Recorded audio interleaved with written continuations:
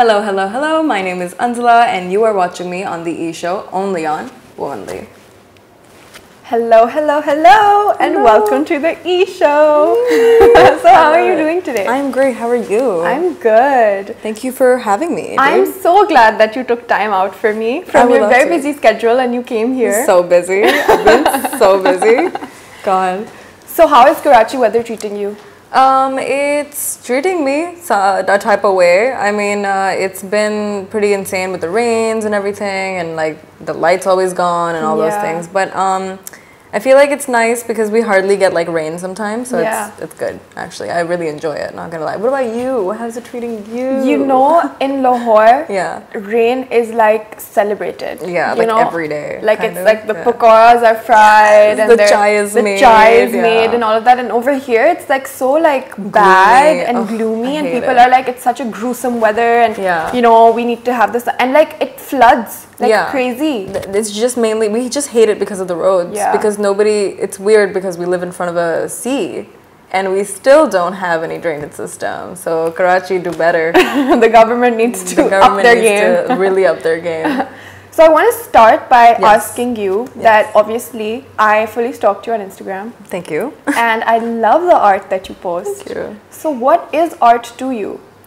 Um, it is mainly um, a gigantic way of just kind of expressing myself and how I feel inside and just my emotions. I feel like it's um, it's very uh, even if I like find like a painting out of nowhere, I feel like I'm going to relate to it. And I'm gonna be like, okay, that's very personalized to how I feel. It's like finding a song that's Mm-hmm. Yeah. exactly the right kind of, Yeah. you know. So um, yeah, and I like to kind of reflect that in my Instagram because um, my Instagram was mainly just kind of a project, which, which was like a just a me project. It was Yeah. for me Yeah. specifically. Yeah. Because as soon as like brands kind of come in, they want it to be very like spick and span and like Yeah. clean and like oh you can't wear this and you can't wear that and I'm like well you signed up for this you know so the art and the fashion is gonna come in regardless. Yeah. So yeah. So do you use it like as a form of self-expression sometimes? yes. And how does you know because you did acting before, Yes. and then now you transitioned into music. So Yes. how was that? Like, how did you transition from like Um, acting into? Well, it was a very difficult process. I'm not gonna lie. It was um, so I I was very bad in school, and I had told my mom I was like, listen, I don't think I'm gonna be able to do this anymore. Can I start acting? Yeah. So I started acting, and it took me to places, and it was like, okay, like you know, I was getting the recognition that I thought I deserved, and then after a little bit, I was like, you know what, I don't want to do this because the stories and the and the writing and everything and like Victimizing what the victimizing girl. the women and just like damsel in distress all the Yeah. time like i hated it because i was raised by a very strong woman Yeah. so for me to act like some girl who did not get married to the guy who lives in the Barabar Wali roof is Yeah. like, you know, it's stupid. Yeah. And um, yeah, so I, I hated all of that. I just I, I just could not, and the, the the set life was horrible. And I was just like, you know what, this is not where I'm supposed to be. And then um, to leave that, I kind of transitioned into modeling because I was like, oh, I can at least express myself a little bit more. I can do Yeah. the makeup I want to do. I can do the hair I want to do. I can like figure out what I want to wear.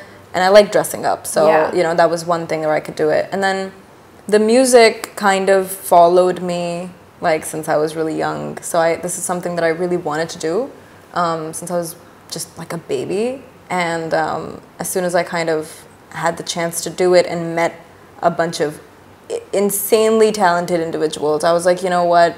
I feel like this is the perfect kind of environment that I should be in Yeah. because I love learning, you know, and they really taught me like so much. Yeah. And it was great. That's was wonderful. great, yeah. So, when you came into the industry, obviously that your parents were already already from the industry. Yeah. But you know, it, it is a very male centric yeah. platform to Yeah, be on, Yeah. and you know, at times when you're young and you're a woman, unfortunately, in the South Asian society, people take you for granted or sort of. You know, exploit your talent for how Yeah. young you are. Yeah. So, have there been instances where that has happened? Yeah, there have been. Um, there's like I don't know there because they constantly compare you to other people. Even when you don't feel like there's competition, they're going to make you feel like there is competition, Yeah.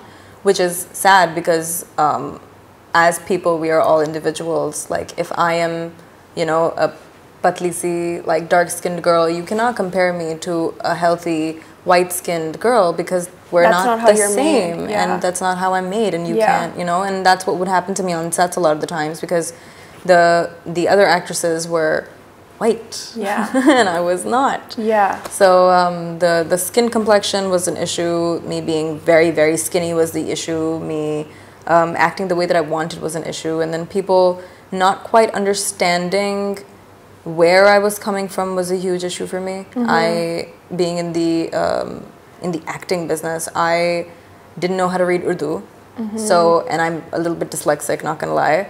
So I would tell the AD to read it to me, but everyone had an issue with that. So they they they're not they're not open to people with Differently, who are differently able. yeah, Yeah. you know like uh, thodi thodi disabilities that they, they just don't they can't they can't fathom it Yeah. which was problematic for me because i am somebody who genuinely can't read urdu Yeah. like to save my life Yeah.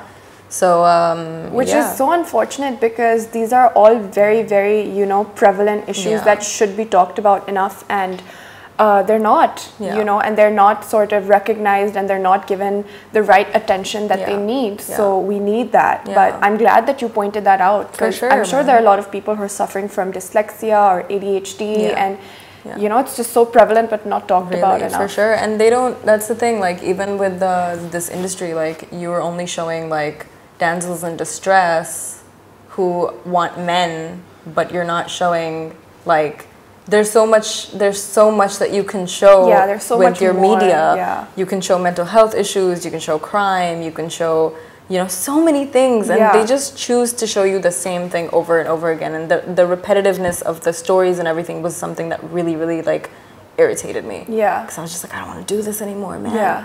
And even if there's like a minority of women who are standing on their own feet, like your mother, Yes. you know, who are doing this Yeah. and who are sort of are, are the breadwinner of the house, of the family, yeah. that 1% needs to be shown so that other women who want to start up Yeah. this thing can get, you know, motivated or yeah, an example. They don't do that. Like, there's no, and believe it or not, like the the class that they they show us in the dramas, um, which is like lower middle middle class class, right? And that's the kind of, kind of the audience that you're making it for as well. Those women, the actual women that we are acting as, are much smarter than our characters. Yeah. They're insane. Yeah. They're cool as hell. Yeah. Like they're gonna have their phones, they're gonna have their TikToks, they're gonna wear makeup, they're gonna do whatever they want, they're gonna stand up for themselves. Yeah. Like I'm making like I would make dramas for the average parlor wali ladki, right? Yeah. And she is you know, she is an icon. Yeah. And I want her to be an icon. And I don't want her to watch these dramas and feel like that she has to give herself to Yeah. women or society or mm. any of that stuff. Yeah. Because you are strong is just as just how you are. You know, you have the power to do that. That, that's just what we're showing and that's just sad, you know. That's so It's- unfortunate. it's And these really- unrealistic beauty standards. Ugh, I hate it. You I need hate to it. be a certain way, you need to be a skin tone, you need Yeah. to look a certain way, Yeah. your thighs need to be You have covered to and be this and that. A proper Pakistani girl. Yeah, and and what is a proper Pakistani girl? You Shalwar know? kameez dupatta. Yeah, shalwar That's kameez it. dupatta, hmm, hmm, chai lenge. आपको चाय पीनी है हर दो minute बाद it's like अब मैं आपके लिए आप बैठे हैं मैं आपके लिए चाय लाती हूँ And oh my god, you know that dialogue? Yeah. आप फ्रेश होके आए मैं fresh आपके होके आए, आपके लिए चाय लेकर आती हूँ what is that all about Every single Every time, single time. if someone, if if I turn on a drama Yes. and if I would get a dollar every time they would say that, I would be rich literally as. literally like मैं आपके लिए चाय बना के लेकर आती हूँ हाँ, आप फ्रेश हो जाए फ्रेश हो जाए What does this fresh हो जाए what is this fresh मेरे हो घर जाए? में कभी किसी ने नहीं बोला फ्रेश हो Hey, जाओ जाए fresh हो जाओ like no God and how they drink so much chai how are they drinking so much chai I know. how are you as a Pakistani family drinking this much chai after every two scenes Yeah, explain it to me with with the perfectly set cookies. हाँ हाँ all of it प- पकोड़े uh, समोसे एक ही tray the whole- होती है एक ही मुझे tray लगता है होती है, हाँ। कि वो हर जगह जो है ना Dude, they वो- actually, in reality, they actually leave these pakoras in the in the what do you call it, the samosas and stuff, and then they bring them after like three hours, of, and then we use them in the shots. And a lot of The times, You have the to eat chai sometimes, and a lot of times the chai that they bring is thandi. Oh. So do better, drama industry, do better.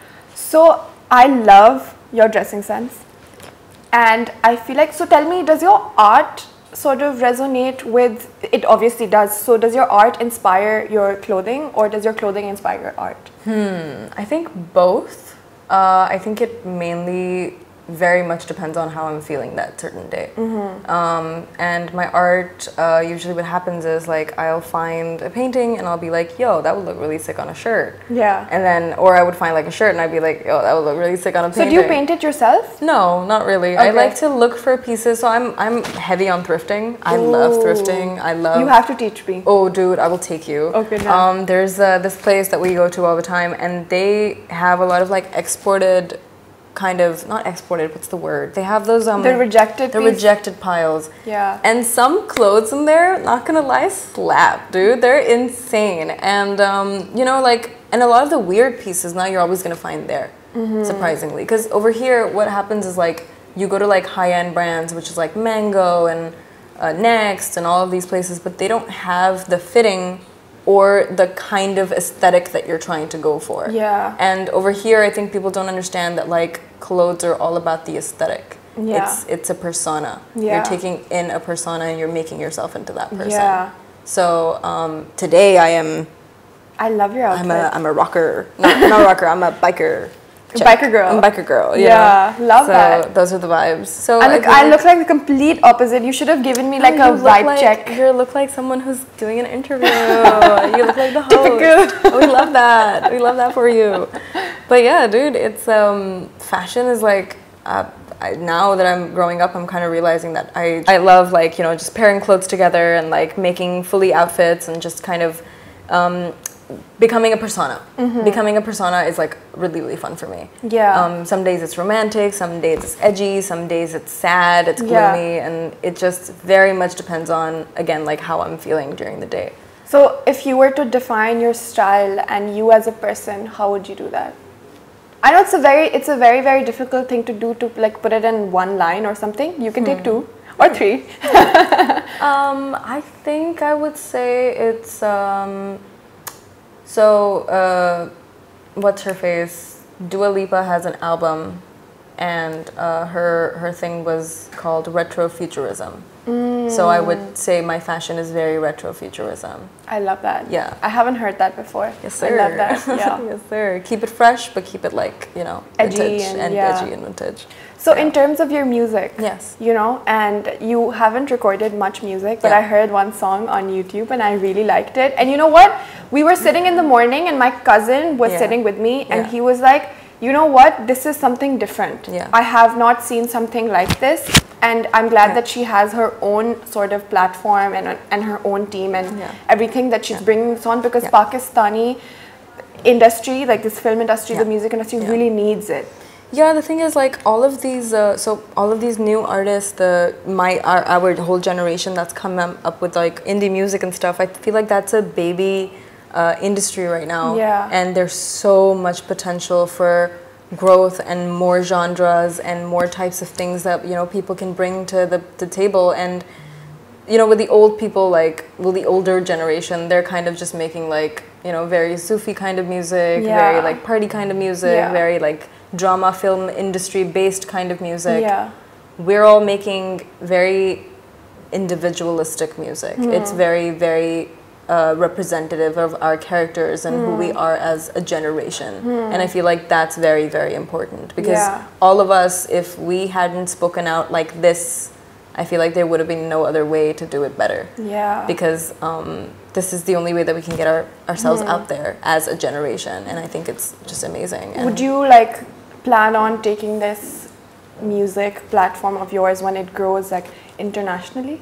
I would love that Yeah. honestly i would love to um, i would love to be playing at like random places honestly that'd be insane to have You have to like- come to Canada. dude i want to do a show in canada i would love that that would be insane Yeah. um, but yeah dude i want i want it to become something you know i i don't want to waste something that's been so close to my heart for such a long time yeah. um, because when I was younger, I was I would sing all the time. I would sing at the top of my lungs the worst kinds of songs, the worst kinds of lyrics, like everything. it was just so bad. So, um, you know, your page is very different. Yes. And I'm sure कि लोगों ने तो बहुत ही जो है वो बोला होगा सिर्फ बातें सुनिए तो क्या क्या आपको आते हैं DMs या वो Man, uh, so people like so people perceive it really well. Um, mostly like obviously art people perceive it really well, but then there's there's people who are the normal people who are just like ye kya bakwas hai Huh. like I post like a painting or something, and they're just gonna be like, "Ye kya bakwas hai? Ye kya ho raha? And you're just like,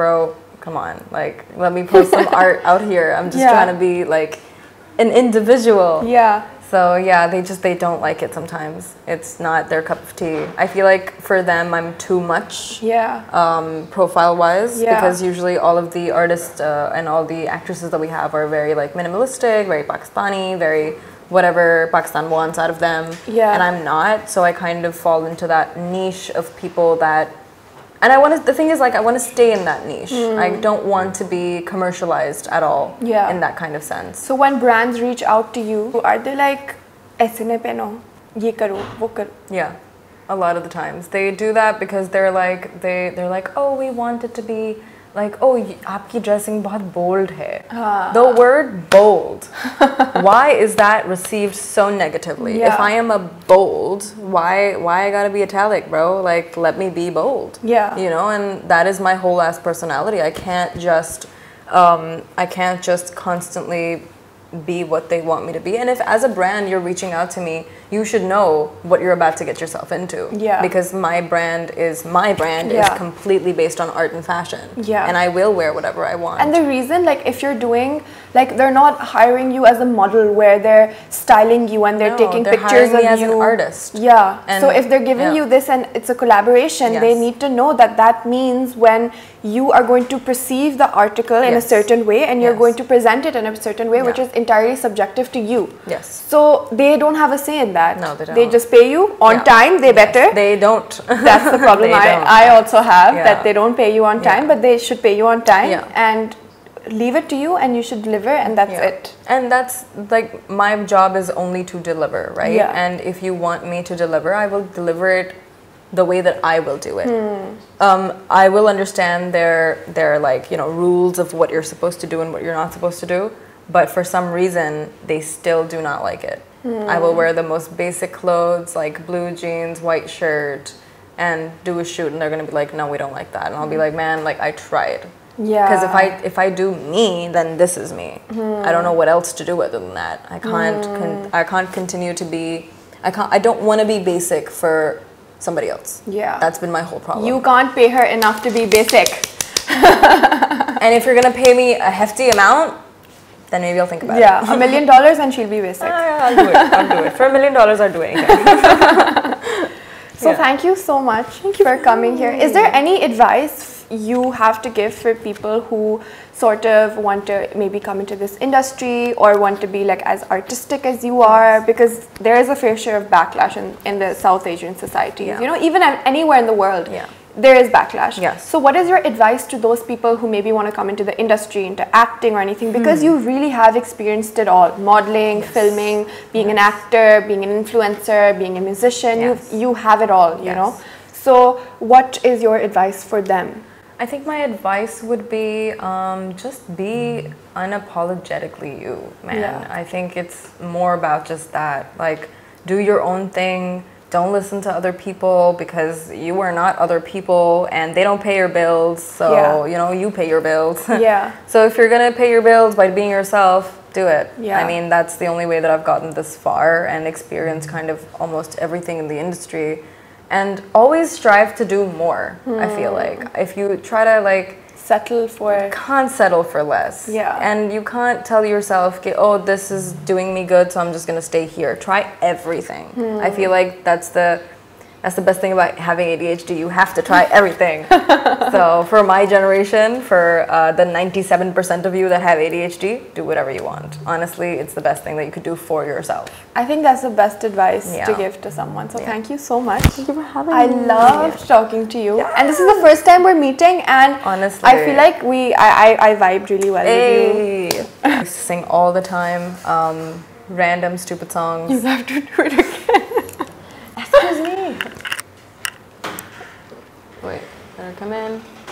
बिल्कुल यही No, we're not talking about us. We're talking about me. me Yeah. rolling and notes पे लिख लो एक दूसरे को देख के हाँ rolling. Wait, wait, wait, wait, wait, wait, wait. Does it, guys? guys all right three two one Keep.